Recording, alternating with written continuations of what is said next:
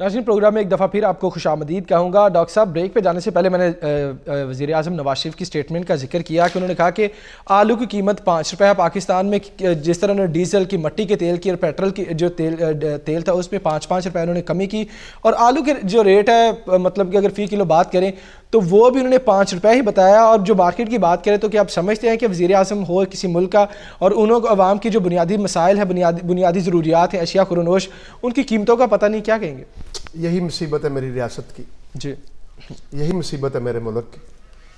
हाकम वो बना जिसे ये नहीं पता कि अवाम की मुश्किल क्या है। जो अवाम में से नहीं होगा जो अशराफिया में से होगा अशराफिया में से होने के बाद वो ऐसा ही करेगा। जी। और वज़ीर आज़म साहब आप खामोश रहते तो ज़्यादा बेहतर था। बोल के तो आपने ये बता दिया कि आपको खे का बिलम नहीं। जी। नाजरीन एक बंदा साल में पाकिस्तान में तकरीबन औसतन 20 किलो आलू खाता है। 20 करोड़ की आबादी है हमें 40 लाख टन सालाना आलू चाहिए। जी। और इसका 90 फ़ीसद जिला ओकाड़ा में पैदा होता है। ये जो 40 लाख टन आलू है नाजरीन ये आलू सितंबर में बोया जाता है पंजाब में। दिसंबर में आना शुरू हो जाता है जनवरी भी आता है और फरवरी भी आता रहता है लेकिन तकरीबन आ गया होता है जनवरी में। जी। एक आलू पैंठ किलो की इसकी पैकिंग कर रहे हैं आप। पहले बड़ी बोरी किया करते थे 114 किलो की 120 किलो तक भी लेकिन अब पैंसठ किलो का जो तोड़ा है और जो एक्सपोर्ट क्वालिटी है बेस्ट आलू जो है ग्रेड किया हुआ साफ़ सुथरा ज़बरदस्त वो पाँच सौ रुपए का तोड़ा है तकरीबन आठ रुपए किलो। और जो उससे थोड़ा सा कम दर्जे का है वो चार सौ रुपए में भी मिल रहा है छह रुपए किलो। जी। एक गोली है जो छोटी निकल के ग्रेडिंग में बिल्कुल निकल जाती है जो छील के नहीं औरतें पका सकती। मेरी माँ तो उसको उबाल के पकाया करती थी छिलका उतर जाता था। हम आलू वैसे भी नमक लगा लगा के खाते थे वो गोली छोटी बड़ा मज़ा आता था। अपने ही खेतों से इकट्ठा करके ले आते थे। तो वो तीन सौ रुपए का भी थोड़ा मिल जाता है। जी। अब नवाशी साहब अगर तो आपने गोली का रेट कोट किया तो वो तीन चार पाँच रुपए किलो है। जी। अगर आपने एक्सपोर्ट क्वालिटी को छोड़े हजूर मुसीबत यही है जिसका आपको बताया नहीं जाता आपका कसूर नहीं है। आपके कान में फूक नहीं मारी किसी ने कि जनाब हक ये है सच ये है हकीकत ये है मुश्किल ये है। वज़ीर आज़म साहब किसान ने ये जो 40 लाख टन आलू पैदा किया है उसे औसतन तेरह रुपए किलो घर पड़ा है। तेरह रुपए किलो। क्योंकि यूरिया पे भी जीएसटी है डीएपी पे भी जीएसटी है नाइट्रोफॉस पे भी जीएसटी है डीजल पे भी जीएसटी है बिजली पे भी जीएसटी है किस चीज़ का आपका जनरल दवाइयाँ ज़रिए अद्वियात उन पर भी जीएसटी है। मशीनरी जरात की उस पर भी जीएसटी है। हाँ। जो दुनिया में कहीं नहीं है सिर्फ़ पाकिस्तान में है। जब आपने ये तेरह रुपए किलो कर दिया मेरा आलू हम्म। मेरी प्रोडक्शन इसकी इतने में पड़ गई एज ए किसान हम्म। तो मुझे मेरे पास कोल्ड स्टोरेज नहीं है।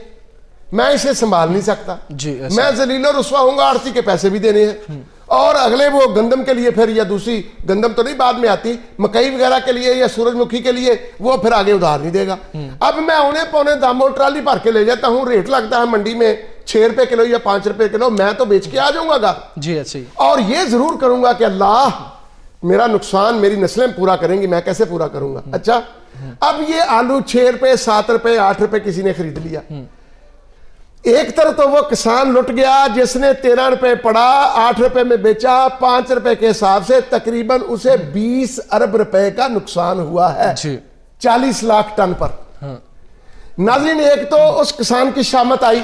जी ऐसे और इस हुकूमत ये जब से आई हुई है इसने खूब दुर्गत बनाई है खसूसन किसान की दहकान की या हल चलाने वाले की। खा वो गन्ना है खा वो कपास है खा वो चावल है खा वो आलू है खा वो मकई है। जलील और रुसवा खूब किया है। पता नहीं कौन सा बदला लिया है इस आग डॉलर ने जो आईएमएफ का एजेंट है। अच्छा सऊदी अरब से डॉक्टर साहब रुके। अब जब 20 अरब का नुकसान किसान ने कर लिया आलू पर अब वो आलू चला गया फड़िए के पास या मार्केट में या स्टॉकिस्ट के पास या बेचने वाले के पास। लाहौर में आपके बयान के बाद हमने स्टडी कराई। बाईस रुपए से लेके इकतीस बत्तीस रुपए तक ये आलू बिक रहा है। हम समझते नाजीन ये है कि आठ दस रुपए खरीदा गया अगर बाईस रुपए में भी है तो बारह रुपए जो अदाफी आए और चालीस लाख टन का मतलब अठतालीस अरब रुपया बनेगा। जिस निर्ख पर किसान से खरीदा जी।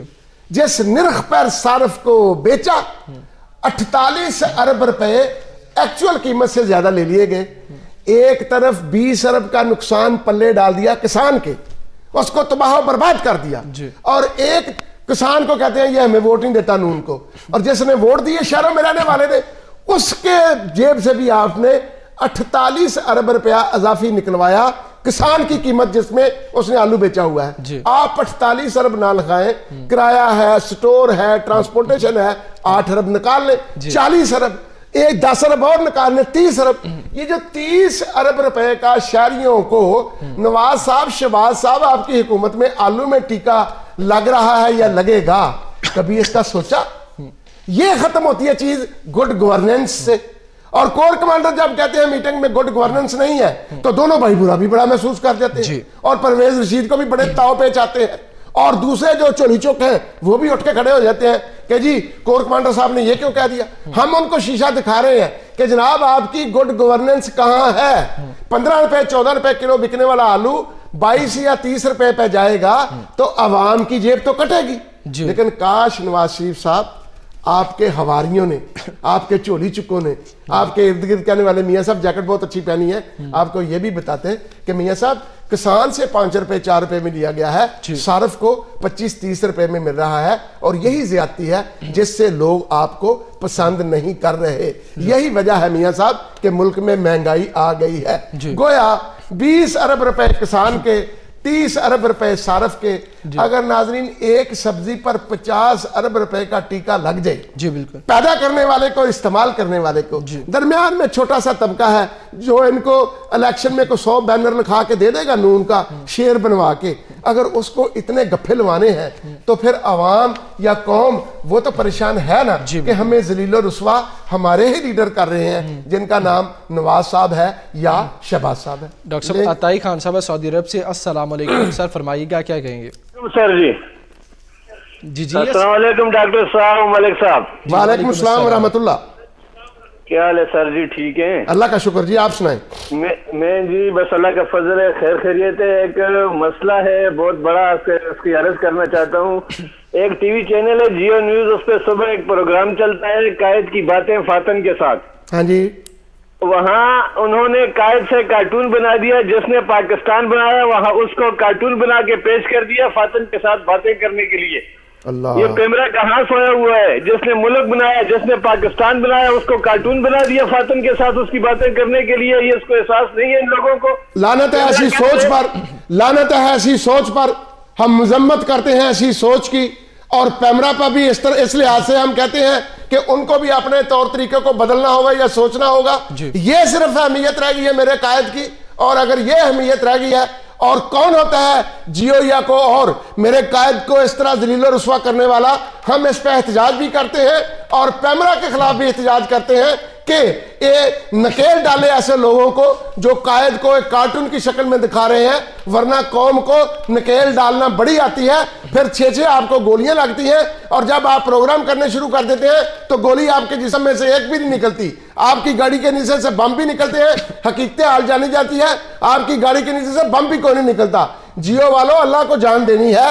ये जुल्म है इतना बड़ा सऊदी अरब से हमारे जो भाई कह रहे हैं शर्म करो अपने इस एक्शन पर इसे फ़ौरन बंद किया जाए। डॉक्टर साहब आप कुछ बात करते हैं वजी अला पंजाब शहबाज शरीफ के हवाले से वो कहते हैं कि हमारे जो फलाई काम है उनमें रोड़े अटकाए जा रहे हैं। सर ये कौन से रोड़े हैं? क्या वो जो फ्लाई काम एक जानब वो है जो मेट्रो बस बना रहे हैं या वो जो ऑरेंज ट्रेन बना रहे हैं ये वो फलाई काम है आवाम के लिए या कुछ और मसाइल क्या कहेंगे? मलक मियाँ साहब को आए ढाई साल हो गए हैं। जी बिल्कुल।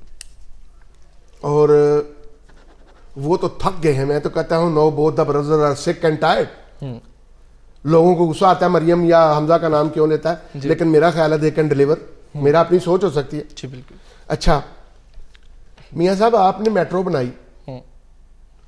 और अगर लाहौर वाली और इस्लामाबाद वाली मेट्रो का इंटरनेशनल ऑडिट कराया जाए एक्सटर्नल ऑडिट कराया जाए और जो आपकी ऑरेंज ट्रेन है 40-50 अरब रुपए की करप्शन ढूंढना कोई बड़ी बात नहीं हो जी।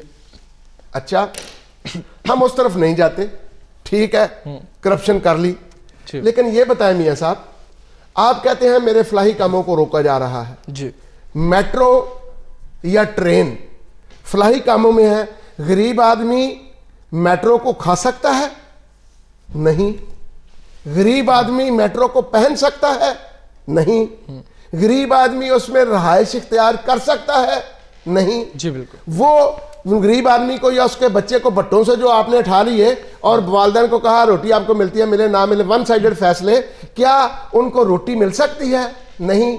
किसी को गोली जो बीमारी है उसकी अस्पताल से मिल सकती है? नहीं। तो मियाँ साहब फिर फलाही काम तो ये होते हैं कि किसी की रोटी का बंदोबस्त करो हम्म। किसी की रहायश का बंदोबस्त करो किसी की तालीम के मतलब सोचो किसी की सेहत के मतलब सोचो किसी के रोज़गार का सोचो हम्म। ये जनरल से काम है। अगर इनमें मेट्रो या ऑरेंज कुछ भी डिलीवर नहीं कर पा रही और जनाब शबाज शरीफ साहब आप 12 करोड़ पंजाबियों के वज़ीर आला हैं।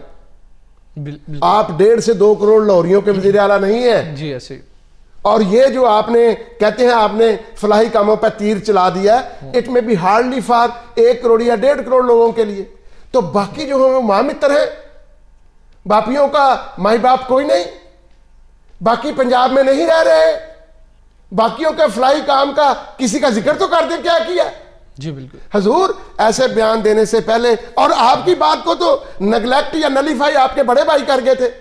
कि ये मेट्रो शेट्रो, ये सड़कें सड़कें जो हैं, इनसे तरक्की नहीं होती। वो काम करें जिसमें तलीम है, सेहत है, गुर्बत दूर करने वाले, ताकि वो लोगों के फलाही काम हों। लिहाजा मियाँ साहब, मेरा ख्याल है, बयानबाजी आपका हक है। हम भी बयान देते रहते हैं यहाँ से, और हम ये चाहते हैं कि तुम दिए बाद मुखालफ से न घबरा ए काब ये तो चलती है तुझे ऊँचा उड़ाने के लिए। लेकिन मियाँ शबाज साहब आप ऊँचा उड़ने की बात करें नाम शबाज हो और बन के चिड़ी बैठे हुए हूँ और आपके सिर्फ़ आपने एक काम फलाही किया कि मीडिया को बड़ा कंट्रोल किया हुआ है। बिल्कुल ऐसे। जितना मीडिया होस्टाइल था ना पीपल्स पार्टी की दौर में वरना जिस तरह आपने बिजली दुगनी महँगी कर दी लोड शेडिंग दुगनी कर दी गैस की दुगनी लोड शेडिंग कर दी और इसके अलावा दवाई किसी अस्पताल में नहीं मिल रही। लोग जलीलो रुसवा रोज़गार तीस चालीस लाख खेच लिया। हर जुल्म आपने कर लिया। और आप कहेंगे कि जी हमने नहीं किया ऐसा डॉलर ने किया चलो उसने किया वो भी तो आपका ही है। लिहाजा अगर मीडिया आपने खरीदा हुआ ना होता जी। तो आज ऐसा ना होता। अफसोस ये है कि आपने मीडिया की अक्सरियत खरीद ली हुई है और अगर को नहीं खरीदा गया तो उसको भी खरीदा। यहाँ तक आप लाहौर के कई अंडर पासेज ऐसे हैं जहाँ मीडिया के बंदे को जिसको छह गोलियाँ लगी और बाद में एक भी नज़र ना आई उसके बाप पर नाम रख दो उसका। या किसी किक्कर पर किसी सहाफी का ये किक्कर तेरे नाम कर दिया है ये पुल तेरे नाम कर दिया है ये अंडरपास तेरे नाम कर दिया है। वज़ीर आज़म साहब भाग के कराची जाते हैं और सहाफी को छह गोलियाँ लग गई। फिर वहाँ जाके बड़ा छोटा सा मुँह है मुझे बहुत अफसोस है बड़ी कुरब में है बड़ी परेशानी में है। गोली एक भी ना नज़र आई। लिहाजा ऐसे ड्रामे करके यकीनन आपने मीडिया को कमचू किया हुआ है। मीडिया भी मेरा ख्याल है आखिर जमीर की को हद होती है। एक सौ पच्चीस रुपए किलो दाल बिक रही है और पीपल पार्टी के दौर में पैंसठ रुपए पे गई थी और मीडिया ने तूफ़ान खड़ा कर दिया था। तूफ़ान तूफ़ान है बदतमीजी। और मैं उस तूफ़ान के साथ था। आज एक सौ पच्चीस रुपए में है। किसी के कान पे जू ही नहीं देंगे जी। किसी को गरीब नज़र ही नहीं आ रहा। ये आपका एक तरीका वारदात है। अगर आप इसको फलाही कहते हैं तो फिर ये फलाही होगा। लेकिन मेरा ख्याल है कि ये तरीका वारदात है। लिहाजा दोनों भाइयों को भी पता नहीं किस चीज़ ने अंदा किया हुआ है। और ये मेरा ख्याल है कोई मलक साहब काम अच्छा करके मशहूर नहीं होना चाहते सिर्फ़ काम नहीं अच्छा करना चाहते सिर्फ़ ये चाहते हैं मशहूर हो जाए कि हमने बहुत अच्छे हैं। नाम चाहते हैं लेकिन अदरवाइज़ नुमाइश को पीछे करना पड़ेगा कुल चोली चुकों को पीछे करना पड़ेगा और अकल इस्तेमाल करते हुए वो काम करने पड़ेंगे जो मियाँ साहब मैं आपको बता चुका हूँ। अगर वो आप भूल गए हुए हूँ मैं दोबारा आपके आपके दर दौलत पर बता दूँगा आपको। खुदारा ये काम करें तो शेरशाह सूरी बन जाएँगे वली अल्लाह बन जाएँगे। नासिन आज के प्रोग्राम से इतना इंशाल्लाह कल के प्रोग्राम में मैं और डॉक्टर साहब दोबारा आपकी खिदमत में हाजिर होंगे। तब तक के लिए हमें इजाज़त दीजिए। अल्लाह आपका हामी नासिर हो।